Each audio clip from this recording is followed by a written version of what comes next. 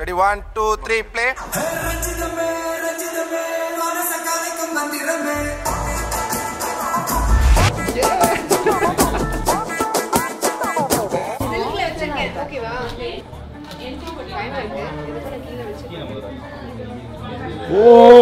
three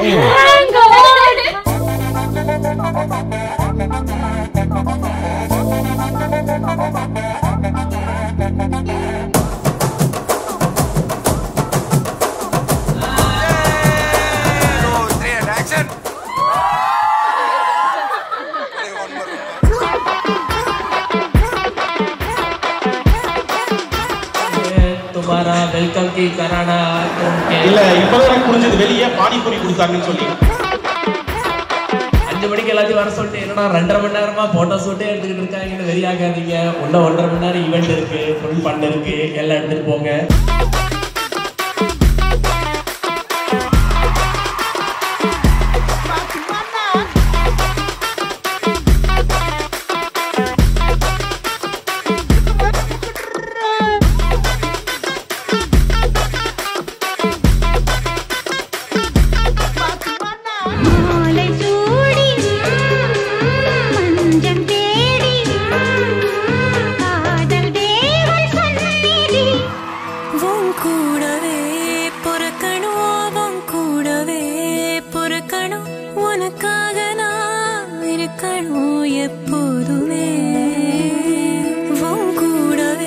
கூடவே அதுக்கப்புறம் இந்த பெர்ஃபார்மன்ஸ் நான் ரிஹர்ஸ் எல்லாம் பார்த்தேன் ஓகே ஆனா அருதனியாக்கு வந்து கைகால் அசைங்கிறதே எனக்கு இத்தனால தெரியாது.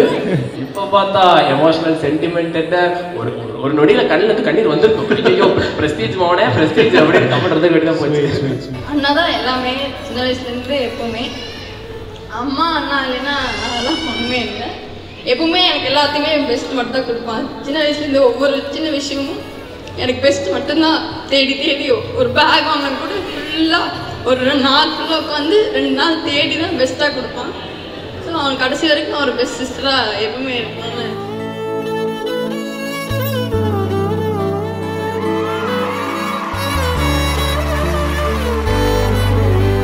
ஹரி உங்களுக்கு எவ்வளவு ஸ்பெஷல்மா அது என்னோட உயிர்.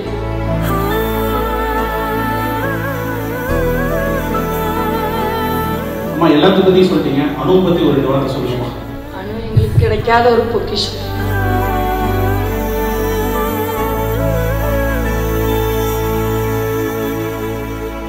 சற்று நேரம் இந்த கிரிஞ்சு நிகழ்வுகள் எல்லாம் தாக்கு பிடிக்குமாறு பணிவன்புடன் கேட்டுக்கொள்கிறேன். ஒரு ஒரு அஞ்சு நிமிஷம் கிளம்பிடுறீங்க. விட்டுருங்க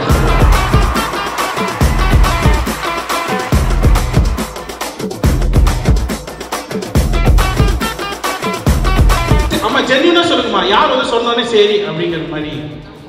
ஐயோ அந்த குவாலிஃபிகேஷன் அனுட்ட நல்ல குவாலிஃபிகேஷனே கெடுத்துப்படாது என்ன சொன்னாலும் சரின்றோம் அப்படி. என் பொண்ணை பார்த்து இந்த குவாலிட்டி நல்லா இருக்கு. எனக்கு ரொம்ப பெருமையா இருக்கு இந்த விஷயத்துல. உறவுகள் விட்டு கொடுக்க மாட்டா? You are very blessed bro உறவுகளை விட்டு கொடுக்காத ஒரு குவாலிட்டி வந்து ஒரு பெரிய குவாலிட்டி என்ன வளர்த்து என்ன பண்றது? இப்ப கடைசி எங்க குடும்பத்துல வந்து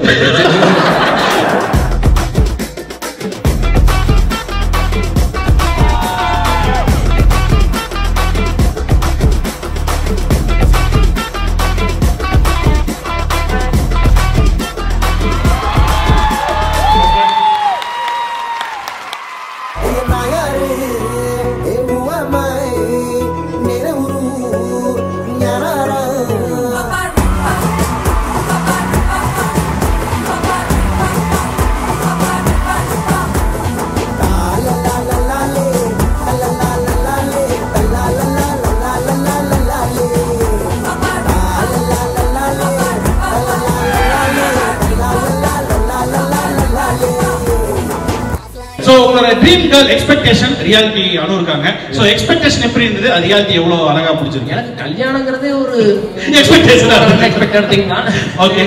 எக்ஸ்பெக்டடா கல்யாணம் நடந்துருச்சு. அதனால நம்ம அதுக்கு மேல பெருசா எதிர்பார்க்கறது இல்ல இவனுக்கெல்லாம் பொண்ணு பார்த்தாங்கன்னா ஒரு ஒரு- ரெண்டு மாசம் கல்யாணம் பண்ணிடுறோம் இல்லன்னா பொண்ணு வேற ஆயிரும் எஸ்கேப் ஆயிரும் அப்படின்னு. ரெண்டு வருஷம் தாக்கு பிடிச்சிட்டாங்க. ரெண்டு வருஷம்.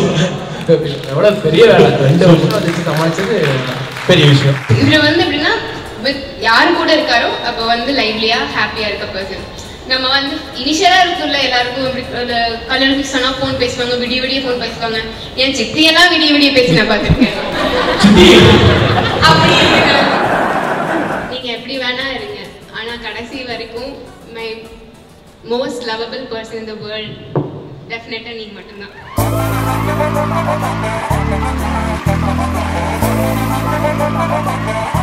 அவங்க வந்து சங்கீத் எப்படி இருக்குங்கிற ஒரு எக்ஸ்பெக்டேஷன் இப்போ முடிஞ்சிருச்சு.